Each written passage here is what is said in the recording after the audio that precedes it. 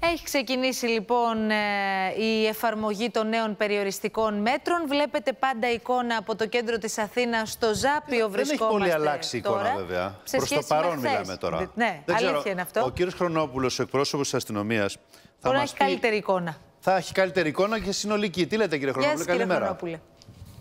Καλημέρα. Καλημέρα σας και στους ε, τηλεθεατές σας.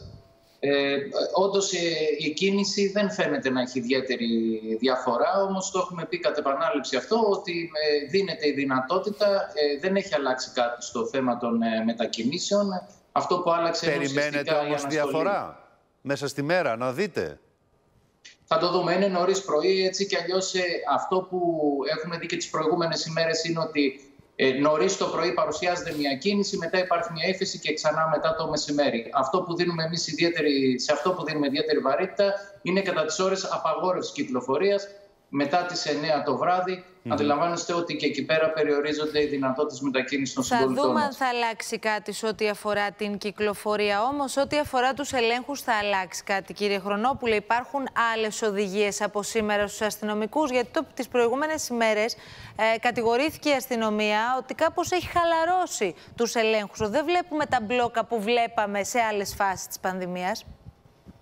Ε, η έλεγχη είναι συνεχής, είναι συστηματική. Ε, καθημερινά έχουμε από 65 με 75.000 ελέγχους σε όλη την, ε, την επικράτεια. Αντιλαμβάνεστε ότι τώρα η Αττική είναι στο επίκεντρο λόγω... Παραβάσεις ε, των πόσες οδη- έχετε;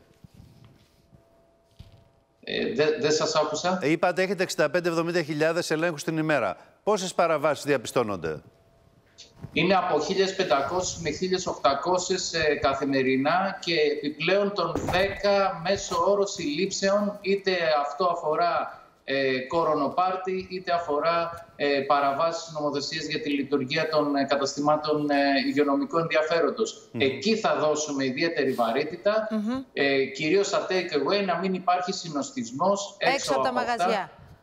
Μαγαζιά. Έτσι ακριβώς. Ο τρόπος που γίνονται οι έλεγχοι τώρα στους οδηγούς θα αλλάξει ή θα είναι ακριβώς ο ίδιος. Δηλαδή περνάει ο οδηγός, δείχνει τη βεβαίωσή του και στη συνέχεια αποχωρεί. Μπορείτε δηλαδή, έχετε βάλει και κάποιες άλλες δικλείδες ασφαλείας για να είστε σίγουροι ότι αυτό που σας λέει ο πολίτης ισχύει; Αντιλαμβάνεστε εδώ πέρα ότι ε, θα πρέπει, σί- σίγουρα δεν υπάρχει ο απαραίτητος χρόνος να διαπιστώσεις κάποια πράγματα, τους ισχυρισμούς, να αποδείξει ο πολίτης ε, ε, όλες τις αιτιάσεις που παρουσιάζει εκείνη τη στιγμή. Επιπλέον υπάρχει το πρόβλημα να μην δημιουργηθεί ε, και πρόβλημα στην κυκλοφορία. Συνοστισμός, βέβαια. Ε, αυτό σίγουρα θα είναι σε μεγαλύτερο βαθμό κατά τις ώρες απαγόρευσης κυκλοφορίας όπου η κίνηση είναι, ε, θα λέγαμε, δεν είναι πυκνή και υπάρχει ευχαίρεια αυτή να γίνει ένας καλύτερος έλεγχος. Όμως Πιο- αντιλαμβάνεστε πιο ότι αυτό Ο- δεν χθες- είναι ιδιαίτερα εφικτό το πρωί γιατί δημιουργούνται περισσότερα Χθες ο προβλήματα. Πρωθυπουργός μίλησε για στοχευμένους ελέγχους. Τι σημαίνει αυτό, κύριε Χρονόπουλε; Στοχευμένη έλεγχη είναι σε, σε περιοχές όπου παρατηρ- παρατηρούνται μεγαλύτερα προβλήματα, στα καταστήματα υγειονομικού ενδιαφέροντος που σας είπα, σε Ναι, ναι. κεντρικούς οδικούς ε, άξονες, γιατί αντιλαμβάνεστε και ότι οι αστυνομικοί δεν είναι ε, τόσοι πολλοί που μπορούν να είναι παντού οποιαδήποτε στιγμή. Ναι, Υπάρχουν επιχειρησιακά σχέδια, ε, κάθε μέρα αυτά να προσαρμόζονται ανάλογα με τις συνθήκες που επικρατούν. Είμαστε σε απευθεία σύνδεση τόσο με την Γενική Σαφές. Γραμματεία Πολιτικής Προστασίας όσο και με τους λοιμοξιολόγους, έτσι ώστε να είμαστε πιο στοιχευμένοι, πιο αποτελεσματικοί. Τελευταίο ερώτημα. Χθες είχαμε μία συγκέντρωση, διαδήλωση στο κέντρο της Αθήνας με περίπου 5.000 πολίτες οι οποίοι διαδήλωσαν. Την ίδια ώρα ισχύει και ο νόμος που απαγορεύει τις συναθρήσεις άνω των 100 ατόμων. Εκεί οι οδηγίες που είχαν δοθεί στην αστυνομία ποιες ήταν. Και κύριε επιπλέον αυτού να συμπληρώσω, κύριε Χρονόπουλε, κατηγορηθήκατε ως αστυνομία για υπερβολική χρήση βίας. Υπάρχει και στον τύπο σήμερα. Στη Βουλή υπάρχει και στον τύπο, στον αντιπολιτευόμενο. Τι απαντάτε σε όλα αυτά;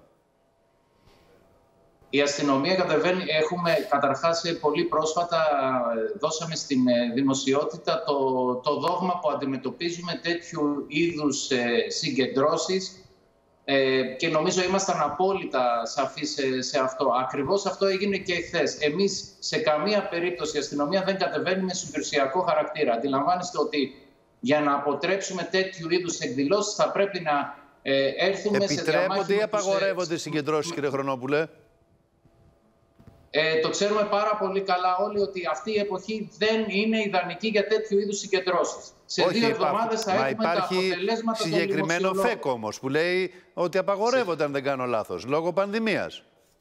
Εάν, εάν η αστυνομία απαγορεύσει αυτές τις, ε, τις ε, εκδηλώσεις, καταλαβαίνετε ότι θα πρέπει να έρθουμε σε σύγκρουση με αυτούς τους ανθρώπους. Μάλιστα. Θα είναι πολύ χειρότερα τα πράγματα. Εδώ θα πρέπει να, να ισχύσει η αρχή της αναλογικότητας και της αναγκαιότητας για κάτι. Σαφές. σαφές. Λοιπόν, ευχαριστούμε πολύ κύριε Ευχαριστούμε Χρονόπουλε. κύριε Χρονόπουλε. Καλημέρα Να είστε σας. καλά.